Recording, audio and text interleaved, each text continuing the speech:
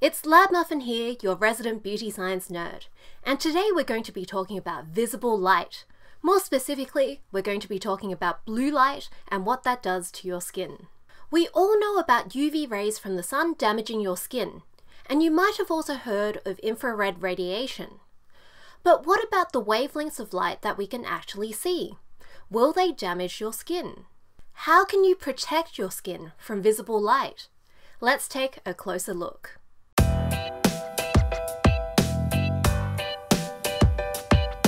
The sun produces a lot of light. As well as the wavelengths of light that we can see, which is called visible light, there's also ultraviolet or UV light, which has shorter wavelengths and higher energy. UV is one of the main causes of aging skin. On the other side, at longer wavelengths than visible light, there's low energy infrared or IR radiation. The energy from the sun that we get on Earth is about 3 to 7% UV 44% visible light, and 53% infrared.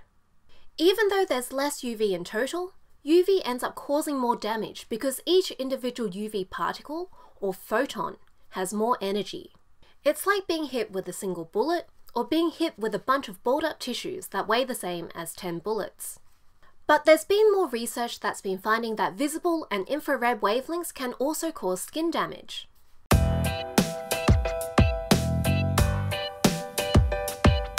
So why is blue light the colour that everyone's interested in and not the other colours like red or yellow? Most of the time when people say blue light, what they really mean is blue and violet light. And the reason why these colours are more damaging is because of physics.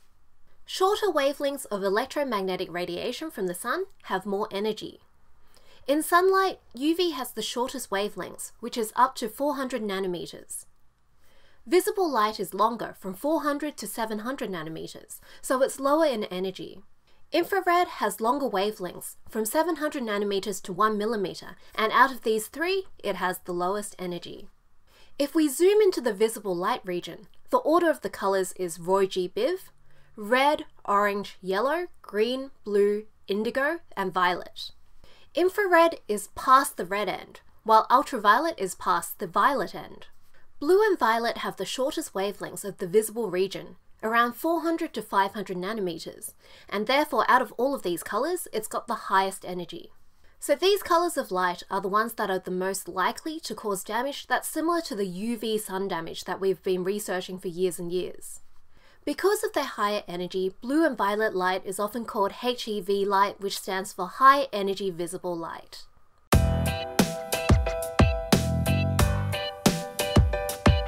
The research on the impact of blue and visible light on your skin isn't as advanced as the research on UV, so it's a bit less clear exactly how it causes damage to your skin. And to make it more confusing, older studies on the effects of blue light aren't as valid. Because the electromagnetic spectrum is a continuous spectrum, there isn't any sort of strict divide between ultraviolet and visible light, except for what human eyes can and can't see. A lot of the time, the lights used in the older studies actually produce UV as well as blue and violet light. This means that the effects that they found could have been from the stray UV light and not actually because of the visible blue and violet light at all. Here's what the research shows so far about light and skin.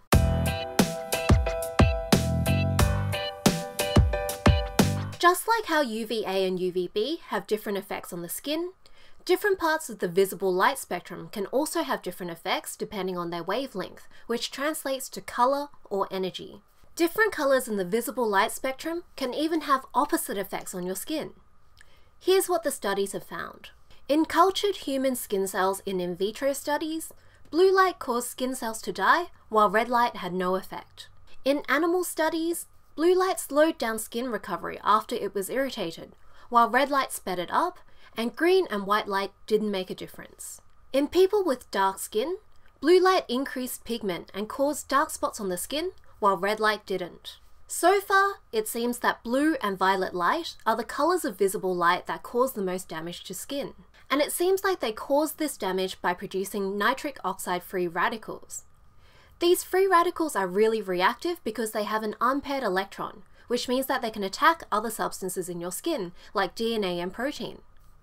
I've talked about free radicals before in my video on antioxidants that I've linked in the caption below. There's a lot of different types of damage that free radicals can cause. They can slow down skin cell production and they can break down collagen, for example. So with all this free radical damage, you end up with damaged skin that looks more uneven in tone or texture.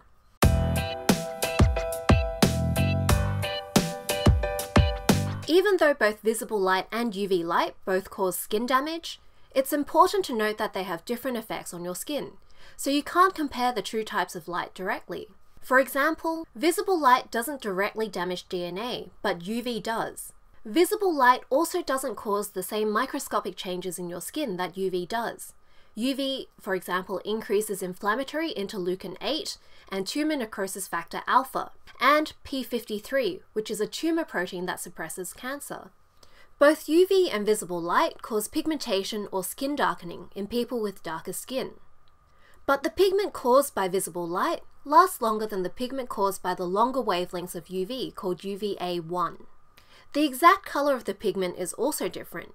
UVA1 causes your skin to get a greyish pigment that slowly turns brown after a while, but visible light causes pigment that's brown straight away. You also need different amounts or doses of UV and visible light to have a noticeable effect on skin. Each particle or photon of UV has more energy than each photon of visible light. So again, it's like a bullet versus a balled up tissue. But the total energy to have an effect on your skin is also different. So with the tissue analogy, not only do you need enough balls of tissue to get the same weight as a bullet, you actually need a whole lot more. Different studies have found that you need between 8 and 30 times as much visible light as UV in terms of the units for light energy, which is joules per square centimetre.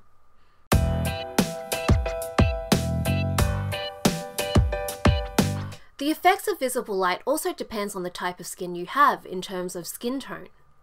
In one study, none of the tested amounts of visible light caused pigmentation in people with light Fitzpatrick 2 skin, but people with darker Fitzpatrick 4 to 6 skin developed more pigment.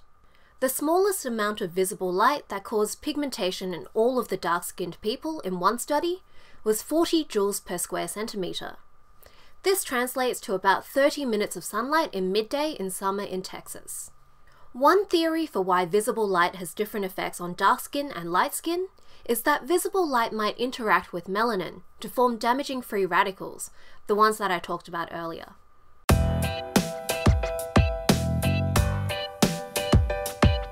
So if you want to protect your skin from visible light, what can you do? You might have guessed with mineral sunscreens that contain zinc oxide and titanium dioxide, but that's not quite right. Even though a lot of people call these ingredients physical blockers, they don't actually work that way. They mostly work just like organic or so-called chemical sunscreens that absorb some wavelengths. So even in studies where they used a really thick layer of mineral sunscreen, they still didn't protect against visible light. But there are some ingredients that can help. Iron oxide, which is used as the main pigment in foundations, is effective at protecting your skin against visible light. But there isn't a standard for measuring how well any sort of product protects against visible light. So there isn't a well-used measure for how well something protects against visible light, like how we have SPF for UVB and PPD for UVA. Since visible light causes damage via free radicals, antioxidants can also soak them up, which I've talked about before in another video, the one that I've linked in the description. One study found that the free radicals from visible light were halved when an antioxidant mixture with vitamin E and feverfew and soy was used on people's skin. And just like with UV, avoiding exposure to light can work better than just using skincare products. You can stay in the shade, you can wear hats and clothes as well to protect your skin from visible light damage. And that's all for today's video. I hope you liked it and you learned something new. Next time, I'll be talking about whether or not you should be worried about skin damage from blue light from screens, like your laptop, phone, tablet, or computer. Stay tuned to find out more. Cliffhanger! As always, subscribe, follow. Yay, science! See you next time for more nerding.